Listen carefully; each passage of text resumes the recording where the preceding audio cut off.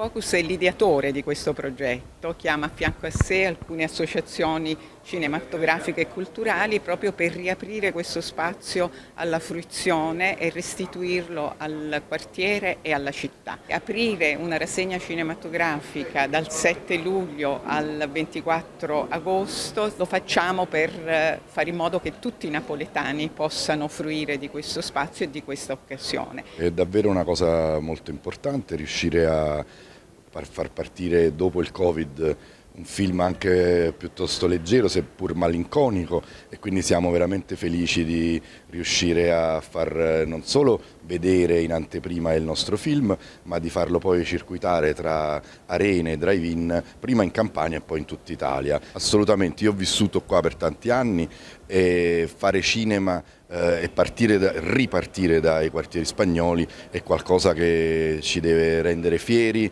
e forti proprio perché possiamo capire che da, da qua possiamo ricominciare sia a far vedere come nel caso nostro ma soprattutto a realizzare nuove idee ora ancora più forti e consapevoli dopo quello che è successo. Sì, sì, a tutti gli effetti è una vera e propria reazione che per la verità nasce molto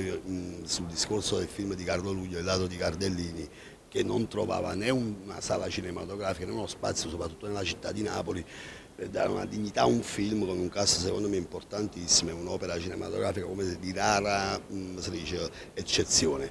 Quindi, ehm, è sicuramente una grande reazione, con vari fattori ci potremmo inserire dentro. Per fortuna poi abbiamo incontrato Peppe Colella che lavora con Focus, da lì abbiamo parlato di questa anteprima ed è nata l'idea di uh, un cineforum che durasse quasi tutta l'estate.